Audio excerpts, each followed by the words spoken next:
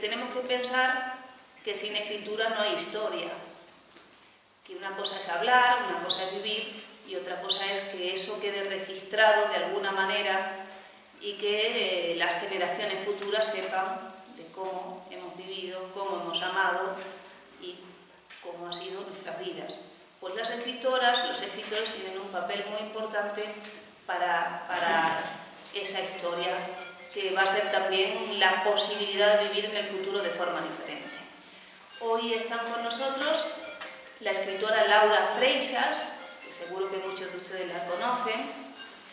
Es una escritora española, autora de novelas, ensayos, crítica literaria, eh, tiene una extensa obra que, pueden conocer, además si, si, visitan su página web tienen muchísima información ahí, sobre todo la mejor forma de conocer una escritora es leyendo su obra y acompañando tu, tiempo de, ese trabajo que has realizado para, para uno. Ha fundado una colección literaria, El espejo de tinta, que dirige hasta 1994. Ha realizado también una destacable labor investigadora y promotora de literatura escrita por mujeres. Y actualmente, además de seguir escribiendo y colaborando en distintos medios de prensa con sus artículos, pues está presidiendo una asociación que me dice que no solo de mujeres, que también hay hombres integrándola, que se llama Clásicas y Modernas. Es una asociación integrada por escritores, eh, músicos, personas de distintas eh, profesiones, digámoslo así, o inquietudes artísticas y que confluyen también en esa labor necesaria de visibilizar el papel y el trabajo en el campo del arte, que sabemos que en el arte y la cultura, bueno, son tiempos difíciles. Ahora conoceremos con más intención a Laura. Bienvenida, Laura. Muchísimas gracias por, por aceptar la invitación y estar con nosotros.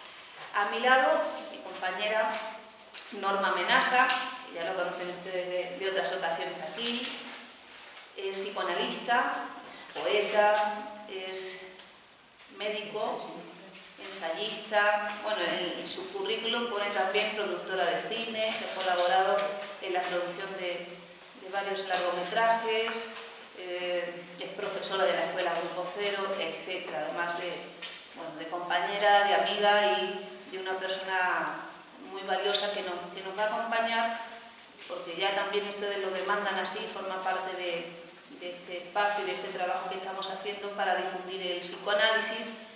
Y además, eh, bueno, está realizando una importante labor en la escritura, ha publicado numerosos libros de psicoanálisis, aquí tengo unos 12 libros de psicoanálisis, si no, no están mal mi fuente, y de poesía 9, hace muy poquito publicó su último libro, que además se titula Vivir en Madrid, porque, puesto que soy de Buenos Aires. Exacto, hace unos años decidió eh, darle un, cambio a su vida y venirse aquí a vivir con nosotros y a, trabajar con nosotros pues, bueno, por todas estas propuestas. Muchísimas gracias, Norma, por, por, estar en este espacio. Más que tener una batería de preguntas o propuestas, yo creo que el título, la escritura como revolución, como una propuesta de revolución femenina, cuando decimos revolución suena a levantamiento, suena a, mover lo establecido, a cambiar las cosas. Lógicamente el trabajo del escritor no es tanto estar en ese sentido en la calle o sublevándose por las armas, pero es sí plantear en la escritura no solo lo que ha vivido, lo que ha visto, sino también nuevos planteamientos reflexivos o críticos que permitan de alguna manera promover o plantear cambios. Y en ese sentido me gustaría que ellas pudieran compartir con nosotros mm, posibles vías o reflexiones acerca del papel de la mujer en la escritura y el papel de la mujer, digamos, para, para de alguna manera comprometer también a los que nos están viendo, escuchando, qué papel tenemos nosotras para llegar a la escritura o como necesidad de implicarnos en la escritura para esa revolución o esos cambios o ese futuro mujeres estamos demandando. Partiendo de que la ideología de un niño es la transmitida por la madre, que es su primer amor, fundamentalmente en los primeros años de vida, yo creo que una mujer que cambie esa ideología va a transmitir una ideología diferente a sus hijos. Entonces, por lo tanto, el papel de la mujer es importantísimo en este, procrear generaciones distintas. Eh, me parece fundamental esto, ¿no? Y bueno, y la escritura es, es un arma revolucionaria también, ¿no?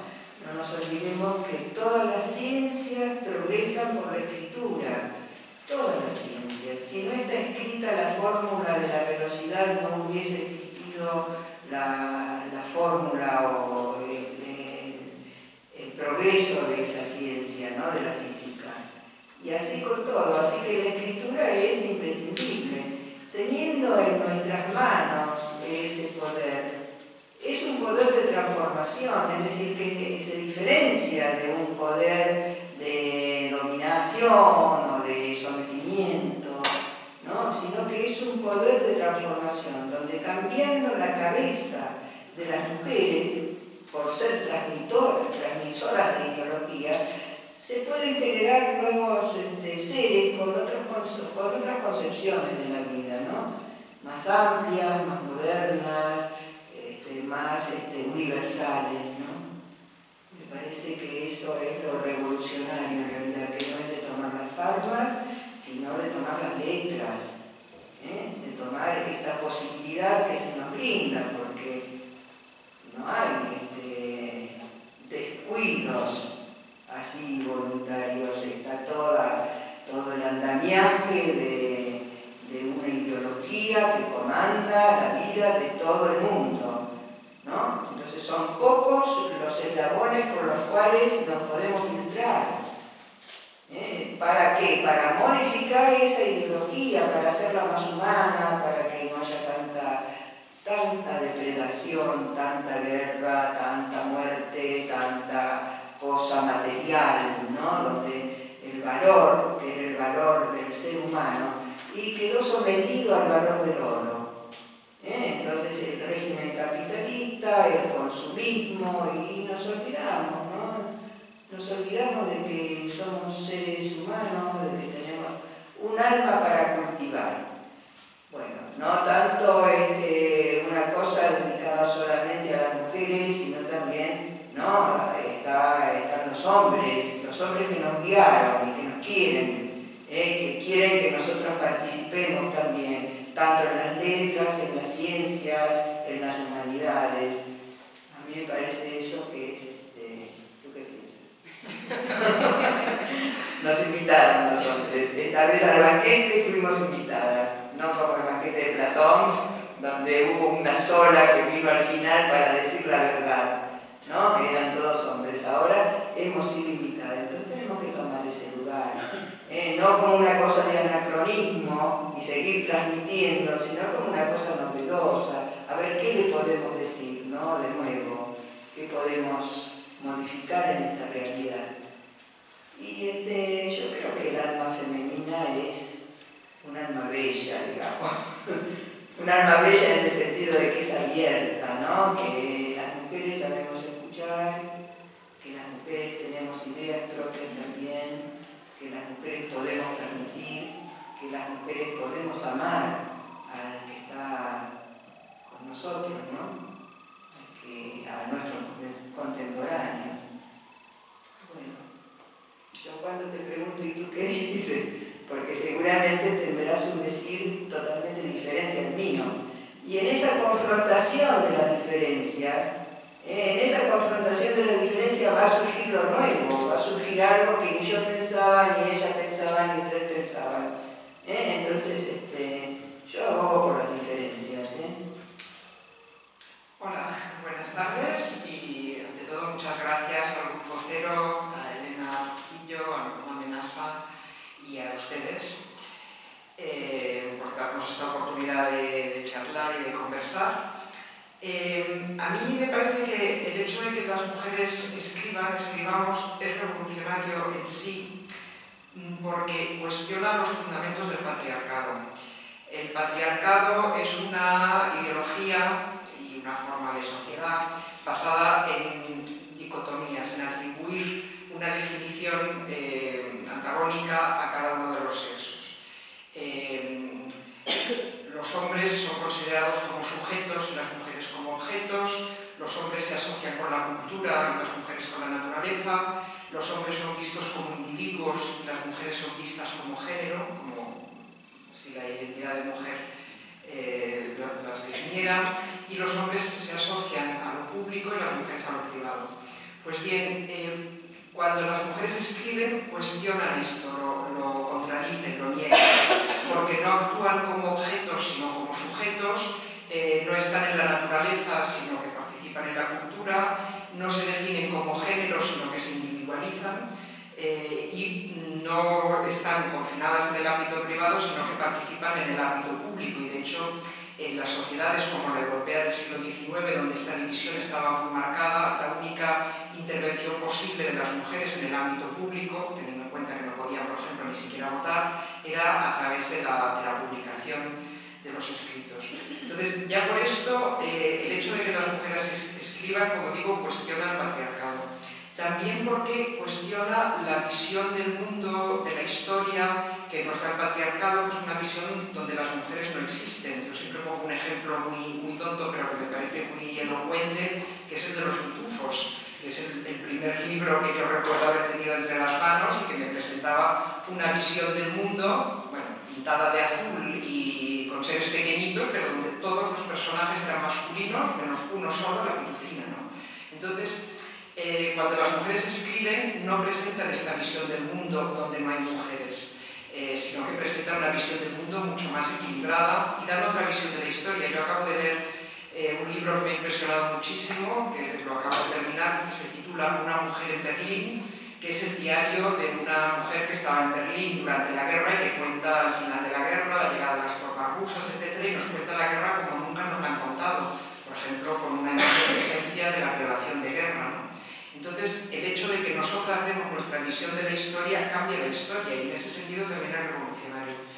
Y por último, eh, creo que la, el hecho de que las mujeres escriban también es revolucionario porque eh, nos da poder cuando el patriarcado se define porque el poder lo tienen los hombres y una parte, una pieza fundamental del poder es el poder de tener la palabra, de ser el que define, de ser el que relata la historia, el que da la versión de los hechos, ¿no? igual que cualquier régimen político, tener el poder sobre la prensa y sobre los medios de comunicación es absolutamente fundamental. Bueno, pues ese poder de, ser el que, el que cuenta, el que explica la realidad, el que la representa, el que hace la representación cultural, es un poder que, como todos, es un poder ejercido básicamente por hombres.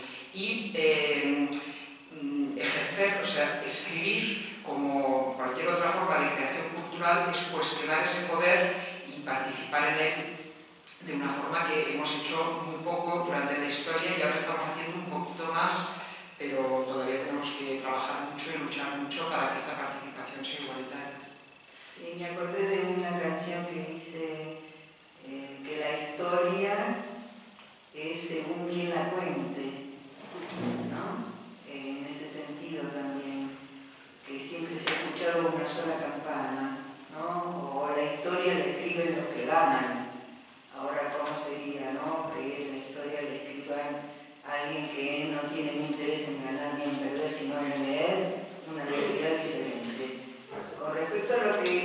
has dicho, Laura, sobre el patriarcado, yo diría que está bien, ¿no? Lo del patriarcado, pero hay que tener cuidado con el matriarcado, que ya son estructuras este, que más allá de los géneros, ¿no? Perdona, Norma, ¿dónde ves tú el matriarcado? Porque yo no lo veo por ninguna Claro, parte. hubo sociedades, ¿Qué? hubo sociedades donde sí regía el Creo que matriarcado. no. Eh, no, que hay una confusión entre sociedades matriarcales y matrilineales. Lo que ha habido han sido sociedades matrilineales, pero matriarcales me parece que no. Bueno, pero yo apuntaba también a que es la misma, la misma cuestión de ejercicio de un poder, ¿no? El patriarcado sometiendo a la, otra parte o el matriarcado sometiendo, ¿no?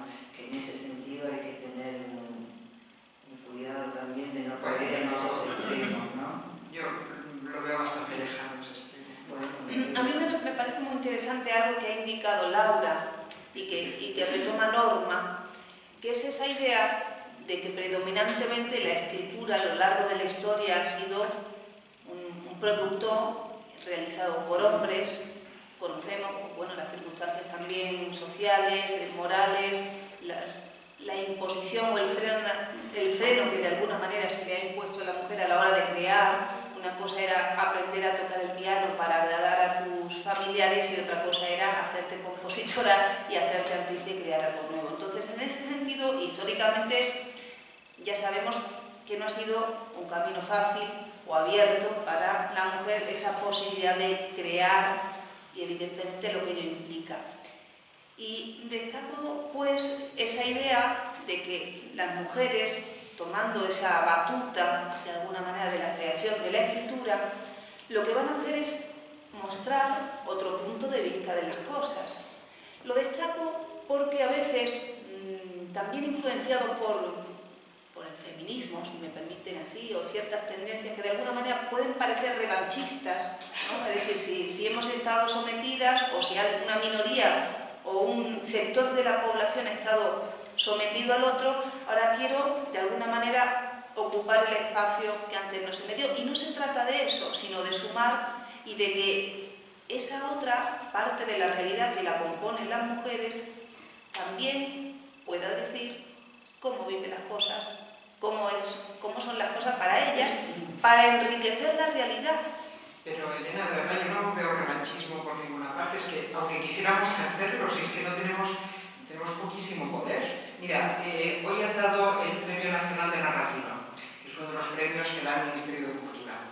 Eh, se lo han dado a una escritora, Cristina Fernández Cubas. Bueno, pues hacía 20 años que todos los años se lo daban a un hombre. O sea, la última escritora que lo recibió fue Carmen Riera en 1995 y desde mi asociación, por ejemplo, hemos protestado mucho por eso. O sea, que, que realmente lo de, lo de, que se inviertan las tornas, eh, no sé si sería deseable o no, pero vamos, lo veo bastante improbable. Sí, sí, ni, tampoco lo deseamos, porque si no sería hacer lo mismo que han hecho. Bueno, no sé si lo deseamos, pero de verdad. Bueno, pero lo que deseamos es la igualdad. Lo que deseamos, claro, es la igualdad de oportunidades, es que sea algo tan exigible o tan posible para hombres como para mujeres, esa posibilidad de decir cómo he vivido, cómo veo la vida y además si lo que yo escribo tiene la calidad que corresponde, sea juzgado de la misma manera y no por ciertas tendencias poderosas que determinan que evidentemente, como tú bien dices, el poder sigue manteniéndose en ese lado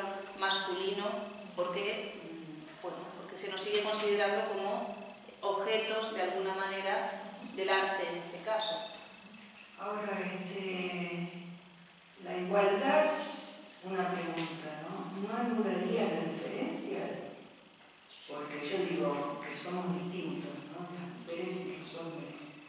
Si esa igualdad no sería una igualdad no tan taxativa, ¿no? sino una igualdad donde haya en el hombre una femenidad también incluida y en la mujer una masculinidad eh, que estamos hablando a nivel de discurso, no a nivel de, de anatomía, ni de diferencias, ni de poderes. Yo digo, ¿cómo sería esa igualdad? ¿Qué tipo de igualdad?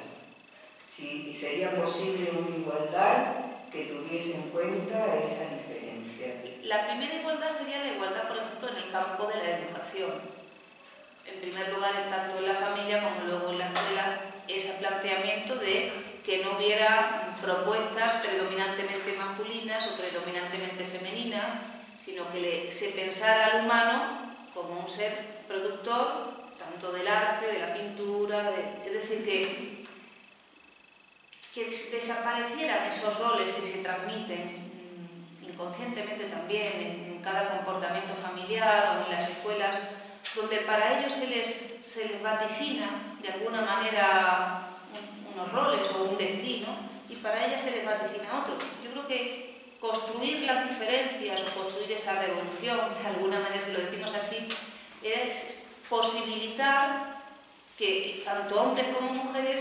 podamos decidir en nuestra vida lo que queremos hacer sin estar tan determinados por ser hombres o por ser mujeres, en ese sentido de que la sociedad nos impone bastante, bastante.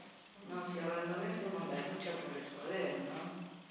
Porque está bien lo que tú dices, porque a una mujer se le tiene que pagar menos que a un hombre, porque un premio llenó, una mujer le cuesta 50 veces más que a un hombre lograrlo, ¿no?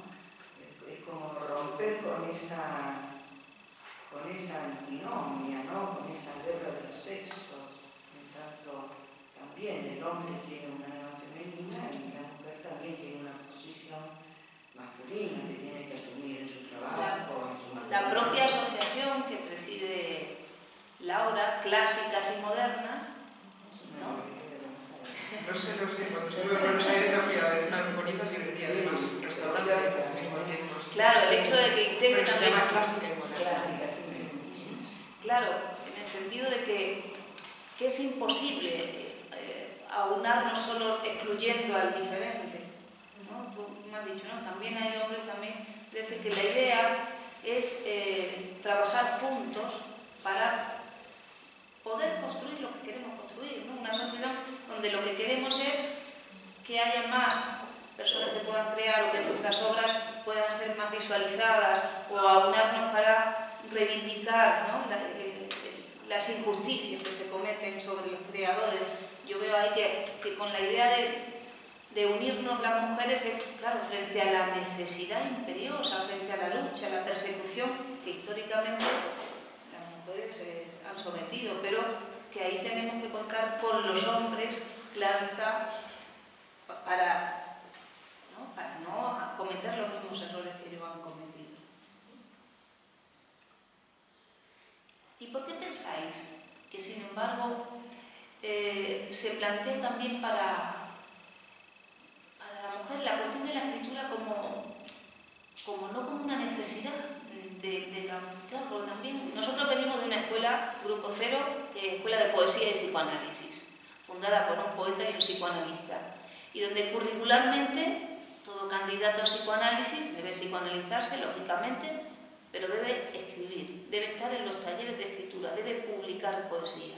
En tanto, sin escritura no va a haber proceso de cristalización de esa formación. El doctor Menasa dice, si hoy en día un hombre o una mujer no habla, uno rápidamente lo manda al médico, al doctor, al psicoanalista, algo le pasa. Él dice que si una persona, un hombre o una mujer, no escribe, igualmente plantearse que alguna normalidad hay. En tanto, la escritura es un procesamiento humano necesario, vital, transformador, porque no puede quedarse un igual después de producir un libro. ¿no? Uno es otro en la escritura y uno es otro en la lectura de su propia obra, en ese descubrimiento de ese otro ser que ahí se produce. Sí, yo creo que eso es especialmente importante para las mujeres eh, debido a lo que se ha llamado, eh, una palabra un poco rebuscada, la heterodesignación. Es decir, que eh, tanto las mujeres como los hombres somos educados con una idea previa de lo que es una mujer o de lo que es un hombre. Pero yo creo que la diferencia es que esta idea de qué es un hombre la han forjado otros hombres. Eh, mientras que esta idea de qué es una mujer no la hemos forjado las mujeres, sino que la han forjado también hombres. Es decir, la han forjado filósofos, religiosos, los padres de la iglesia, legisladores, etc.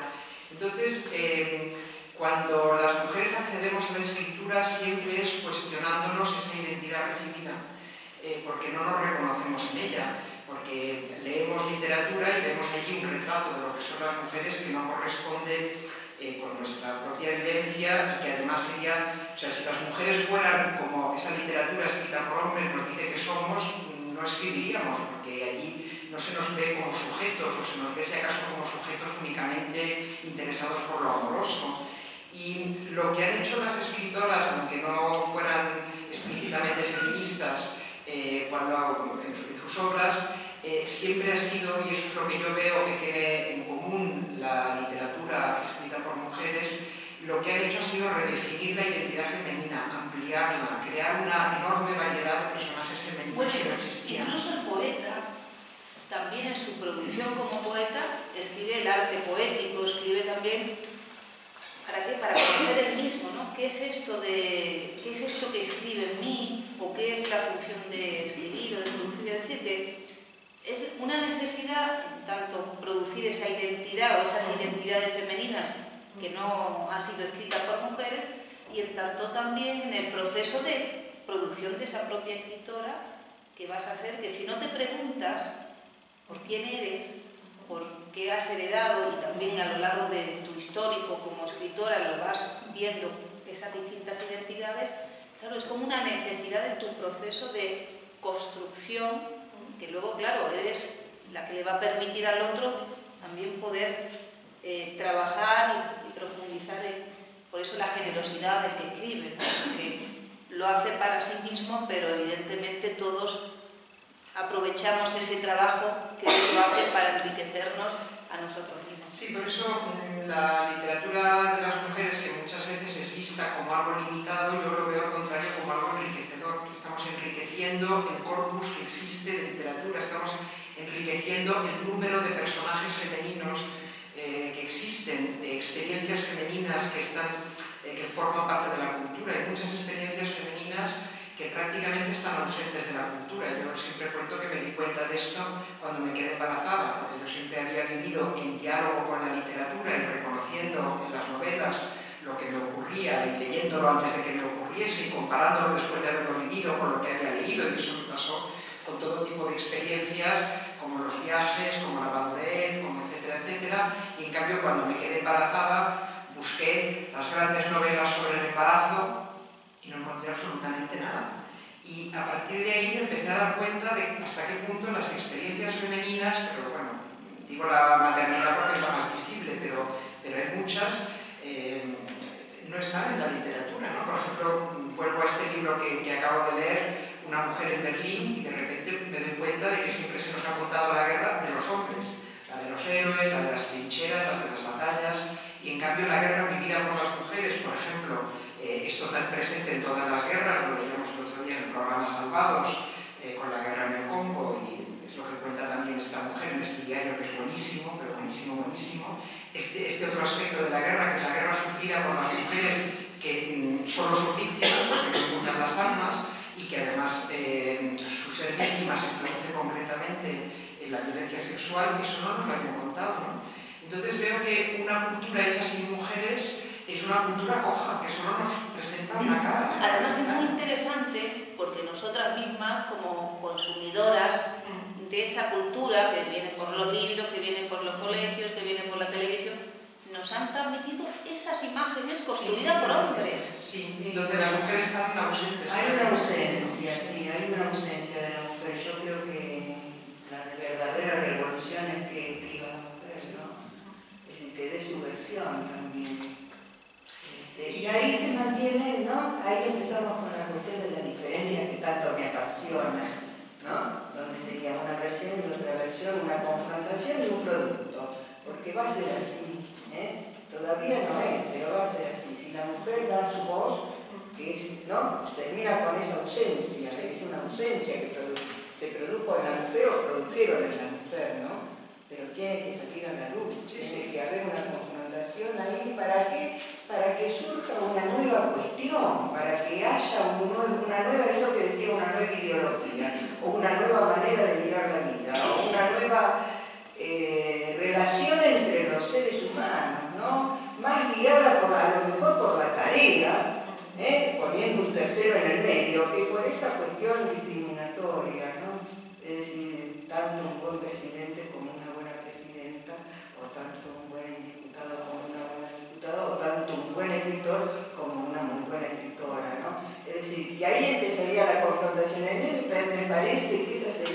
la posibilidad de cambiar algo, ¿eh? de cambiar toda esta estructura tan rígida, porque la verdad es una estructura Bueno, que mata, ¿no? Ya se históricamente, están matando. históricamente la mujer era o función madre o puta, casi, ¿no? Objeto un objeto destinado evidentemente a la reproducción familiar y un poco más, claro.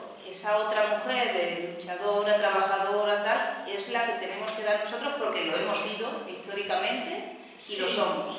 O incluso presentar a esa mujer madre oculta eh, como sujeto y no como objeto, porque por ejemplo una cosa que a mí me llama mucho la atención es como la mujer embarazada es presentada visualmente, si ustedes se fijan, eh, sin cabeza. o sea, no es presentada como un ser humano que tendría cara, eh, que sería un individuo, sino que eh, en muchas imágenes, fotografías, etcétera, exacto, se presenta solamente el vientre, como si fuera un garaje, una taquilla, o un objeto para el verdadero recipiente que contiene el verdadero sujeto. Una buena observación has hecho, ¿no? Porque en verdad, ¿no? Sin cabeza, es decir, la especie. Ahí está. Perdón, incluso acabo de ver que eh, hay un emoji nuevo de mujer amamantando y una vez más sin cabeza. Es que es el colmo, ¿no? Esa visión de la mujer claro, como un objeto. Y aquí me he acordado, somos psicoanalistas, el psicoanálisis. Sí, no, no, no, eso Porque me salió Pero viene el psicoanálisis. Te recuerdo, estábamos hablando de la importancia de permitir esas diferencias, de producir esas diferencias, de establecerlas como un medio de riqueza, que es la verdadera riqueza. Pero claro, tanto a nivel social como a nivel individual hay miedo a las diferencias. Es decir, que el psicoanálisis también es ese método, ese instrumento que permite tolerar, producir, enriquecer esas diferencias, porque ya en nuestra propia construcción como personas, como sujetos, como hombres o como mujeres, vamos a partir de esa dificultad de sentirnos diferentes y de aceptar que las mujeres somos diferentes a los hombres o que un hermano es diferente a otro. Que tolerar las diferencias es un gran paso como humanos en nuestra vida y en la humanidad. Y los grandes conflictos humanos han tenido que ver justamente con eliminar las diferencias, con someter al diferente, con que impere uno sobre el otro. La escritura no existe el escritor cuando escribe siempre toma una posición más allá de eso, ¿no? la relación no es ni con la masculina ni con Pero sí tiene ideología. Sí. Yo no estoy muy de acuerdo con eso. Toma una posición en letra, ¿no? Más allá de eso. También subsumido por la, por la historia de la escritura. Yo, yo no lo veo así. Yo creo que escribimos a partir de dos cosas. Una es eh, las vivencias y otra la tradición. Es decir, escribimos a partir de nuestra propia experiencia y a partir de esa tradición en la que nos insertamos, lo queramos o no. Igual que eh, la artista plástica también crea a partir de todas las imágenes que existen. Entonces, tanto nuestra vivencia, nuestra experiencia geográfica, como esa tradición están profundísimamente marcadas por el género. Nuestras vivencias no son las mismas las de los hombres que las de las mujeres y escribimos a partir de ello. Y aunque quisiéramos y pudiéramos, pero no podemos, hacer abstracción de nuestras vivencias, nos estaríamos insertando de todos modos en una tradición, estaríamos trabajando con un lenguaje que está profundamente marcado y no para bien en lo que a nosotros se refiere por el género. Entonces también tenemos que tener en cuenta eso. Por lo tanto, por mucho que subjetivamente queramos o lo vivamos, lo experimentemos así, porque es verdad que hay muchas escritoras y escritores que dicen que cuando escriben no son hombre ni mujer, yo creo que eso no, eso no, es muy cierto. Aquí hay un punto también interesante que, me acabo de dar cuenta. Una novelista, especialista en narrativa, si no me equivoco, y una poeta. Es decir, que también debe haber diferencias en el proceso escritural, en la transmisión, entre lo que la función poética del, del poeta o eh, la narración no sé si observan algún tipo de diferencias o esto mismo que veníamos hablando de alguna manera, porque el poeta no puede controlar, si, no, no si controla la poesía no es poesía. Entonces es un poco diferente a, la narrativa, donde de alguna manera sí trama una historia y un relato, pero lo poético es que ya es una sorpresa para el propio que lo escribe, ¿no? Sí, puede ser. Bueno, pero ya entraríamos en otro campo, ¿no? Ya este, sería establecer diferencias, bueno, puede ser, puede ser. Quizá lo escribe, cuando escribo ensayos sobre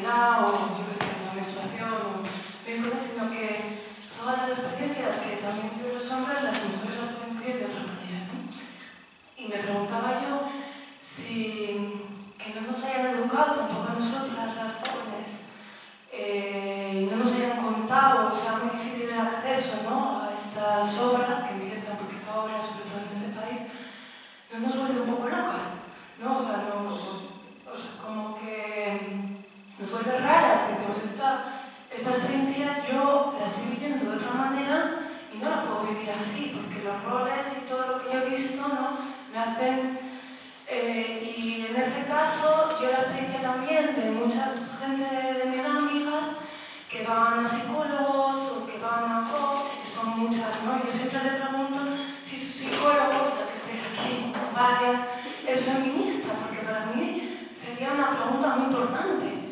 Y ellas me dicen, no, eh, o yo qué sé, ¿no? Y digo, joder, algo que para mí, ¿no? Que tu psicólogo tenga la capacidad de ver desde tu diferencia, ¿no? Para poderte ayudar. Entonces, acerca de esto que pensáis, ¿no? Un poco acerca de cómo se construye también la locura femenina, que yo creo que son muy complicadas, somos histéricas y es verdad, porque... Bueno, bueno, somos Es un poco histéricas, eso. ya Freud descubrió que no somos histéricas. Hay mujeres histéricos O sea, creo que la vida se nos hace mucho más complicada ¿no? Diferente. cuando estas experiencias no están dichas y que...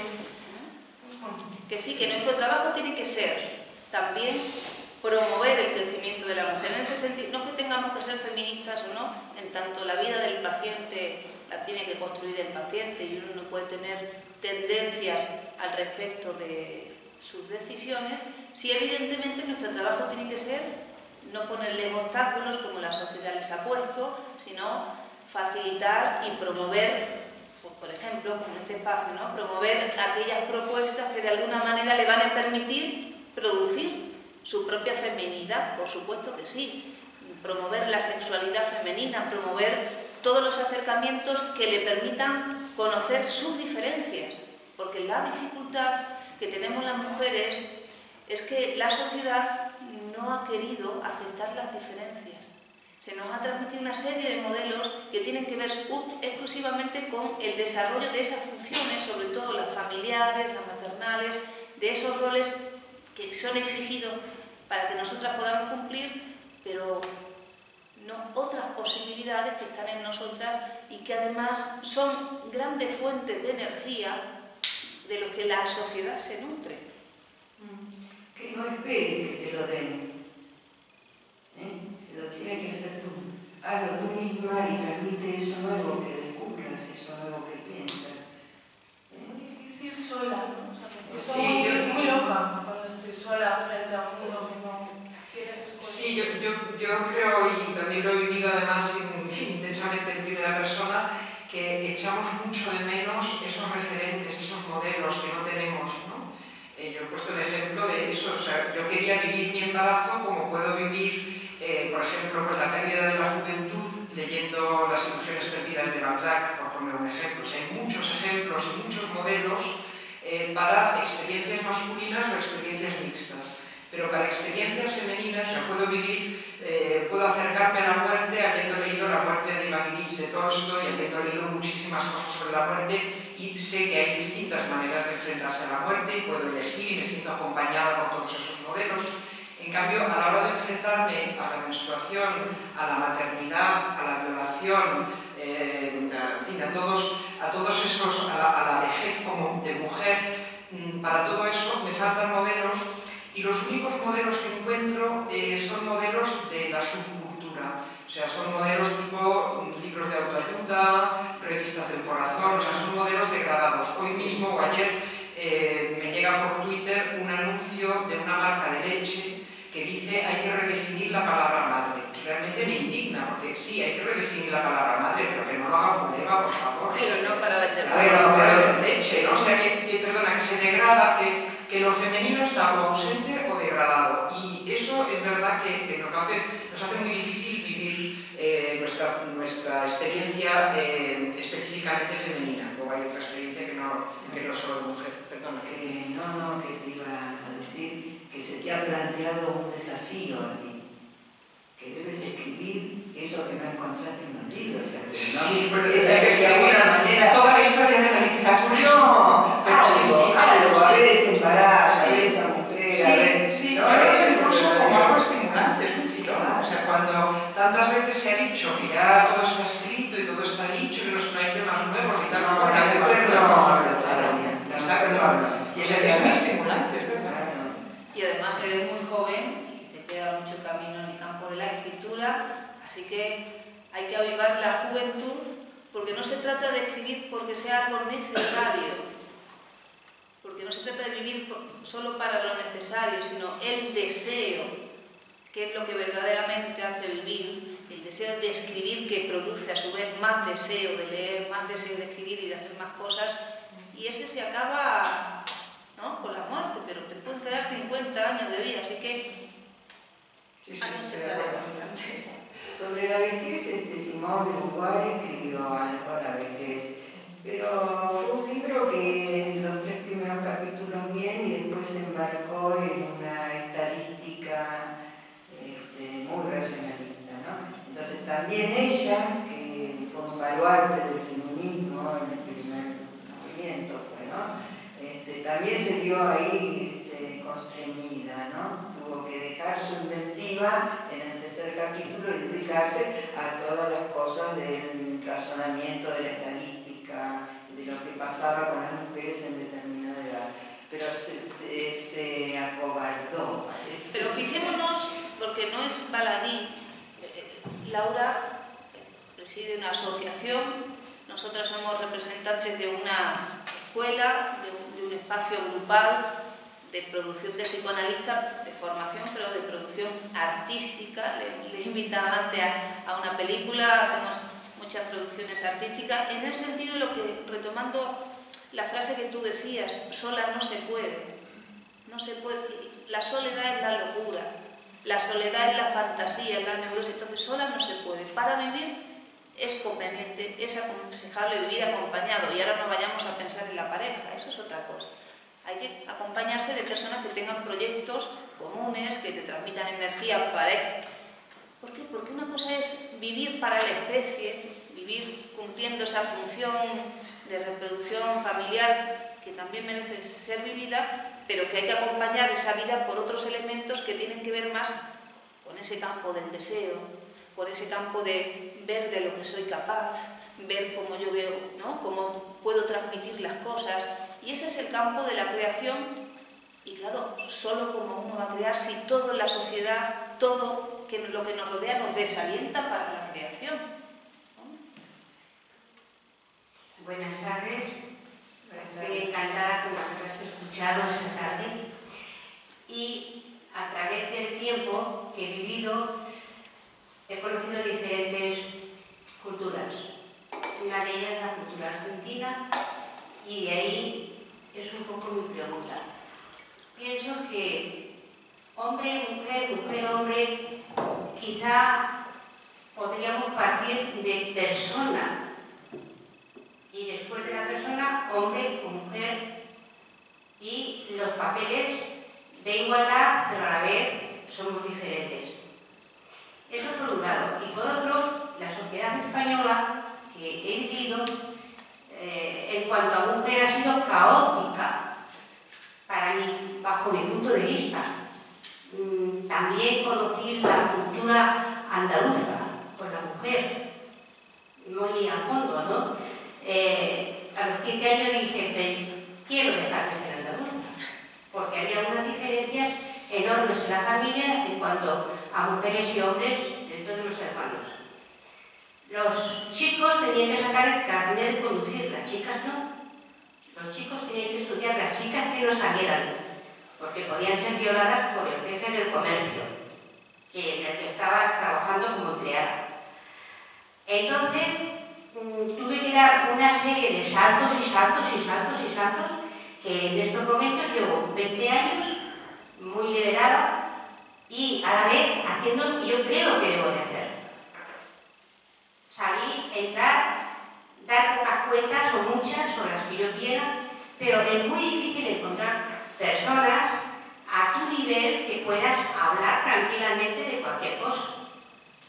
Porque creo que tenemos la libertad de decidir hacer lo que queramos hacer, de vivir en pareja o no, de mostrar nuestros sentimientos dentro de nuestro cerebro o no, y de muchas más cosas. Entonces, en estos momentos, en la sociedad en la que vivimos, en España, te vas encontrando con una serie de parajes que te queda que te centro, salgo o me quedo. Pues te vuelves observador. Lo que pasa es que a veces uno busca, de alguna manera, las referencias en los lugares equivocados. En el sentido, como usted dice, nuestros orígenes nos complejizan o nos dificultan de alguna manera ese, ese vuelo que como hombres o mujeres uno debería tomar en su vida para poder elegir cómo desea vivir, cómo desea hacer. Y de alguna manera a veces hablo como mujer o, o hablo para las mujeres, tomamos la referencia o el apoyo en, la familia o en ciertas personas que, como usted dice, no son las personas las que uno tendría que tomar como referencia para ese vuelo, porque justamente no quieren que vueles. Hay que buscar en la sociedad, en otros espacios, ¿no? ese espacio de creación, los espacios donde se fomenta la lectura. Es decir, buscar a las personas que te alienten, porque... O compartir. Claro, en el sentido que las hay. Y en ese aliento, en esa fuerza del grupo, en esa fuerza de otras mujeres que crean, en esa fuerza de otras personas que crean en ti, ahí uno va a encontrar también ese apoyo, pues bueno, porque uno tiene que cambiar también su propia mentalidad, porque una parte de ti sí quiere esa libertad o esa propuesta, pero hay una parte de ti que también es heredera de esa moral en la que uno ha sido educado. Por tanto, para luchar contra esa herencia que uno tiene también en su pensamiento, el psicoanálisis es, una, es un método para también poder liberarse de eso, pero evidentemente el camino no se puede hacer solo o en pareja, se tiene que hacer de forma social y, acompañarte, porque es necesario hablar, como usted ha dicho, acompañarte de personas con las que puedas compartir eso. Una sola cosa que me ha llamado la atención muy fuerte de la mujer embarazada cortada la cabeza o la mujer dando de mamar cortada la cabeza. Yo tengo una versión que viví con mi madre en cuanto a que se quedó embarazada y ya tenía hijos mayores de 18, eh, por mi parte 12, y lo que le pasaba a mi madre era que se avergonzaba de estar embarazada. Y por eso veo que muchas veces el tema de cortar la cabeza a la mujer en aquellos momentos era un pecado quedarse embarazada dentro de la misma familia y con... Eh, eh, eh, depende de... mm, porque España tiene tantísimos pueblos, el andaluz, el catalán, el gallego, el, entonces en cada tierra se vive de una forma diferente. Ya, pero eso es bastante universal. Eh, yo lo veo desde los anuncios de gimnasios hasta los reportajes eh, sobre Bueno, cualquier tema relacionado con la maternidad. O sea, eh, la imagen tipo de la mujer embarazada es un vientre. Sí, Con pero, lo cual, eh, perdón, se reafirma lo que dije al principio sobre lo que pero la que la que yo viví era pecado.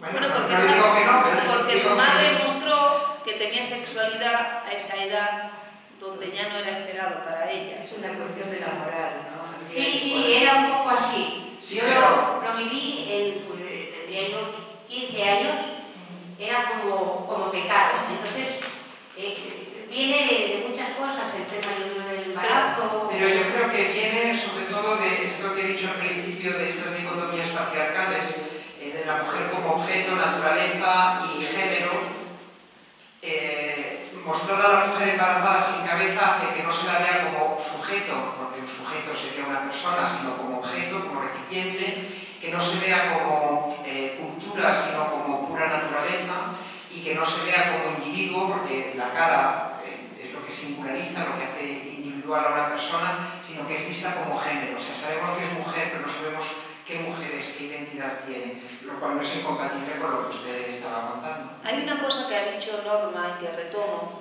de esa, de esa función de poética o de esa función de, cre de la creación, que tenemos aquí un ejemplo, si antes le invité a, a la película, a, ese estreno próximo, Miguel Oscar Menas es un, es un hombre, es un varón, es escritor, y sin embargo su obra, y esta película es un ejemplo de ello, su obra son pro-feministas o pro, digamos de alguna manera, promueven el, el papel de la mujer.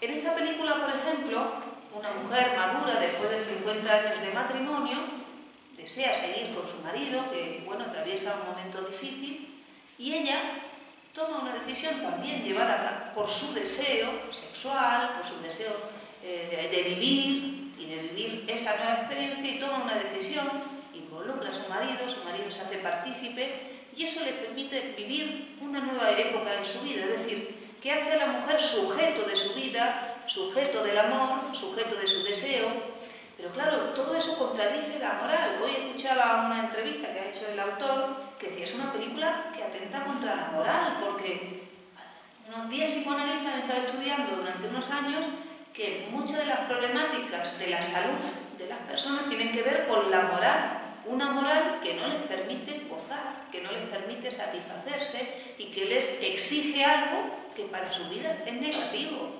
Entonces, claro, en ese sentido, si uno asume la moral, pero eso te acaba tu vida, esa moral no te sirve. O hay que tomar otros caminos diferentes de la moral para poder gozar de la vida y disfrutar de la vida.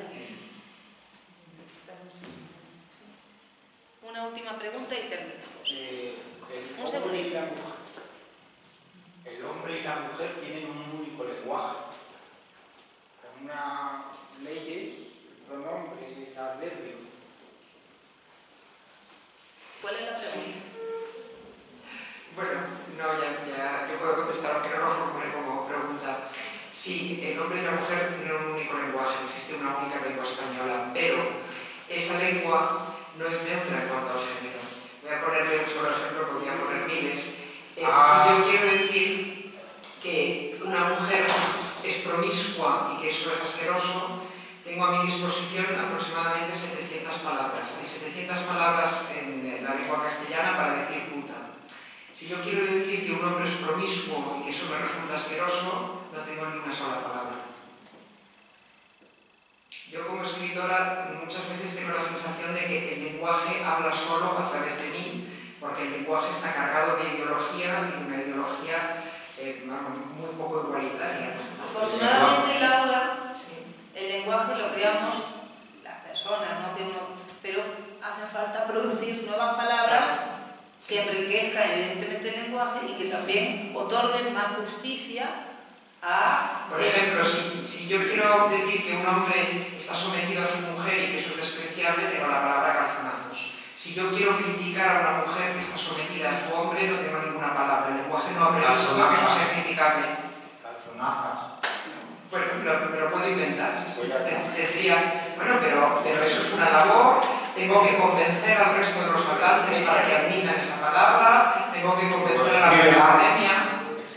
Sí, eh, lo puedo hacer, pero vamos, tengo que eh, llevar a cabo una lucha contra el lenguaje, eh, porque el lenguaje, me- como mujer, me pone en un lugar que yo no acepto, ¿no? Entonces, mi lugar como escritora mm, está marcado por eso, por hecho de que tengo que luchar contra el lenguaje. O sea, el lenguaje es el mismo para todos, sí, pero no nos trata igual a todos y a todas. No cabe duda, pues, y ya nos despedimos por hoy, Pero la lengua es viva, no es una Sí, lengua. sí, sí. Esa, de- esa invención de las palabras, la lengua lo hace Sí, sí, sí, sí. y no cabe duda que este encuentro, esta conversación y, y esa última afirmación que hacemos es una propuesta de trabajo para las mujeres.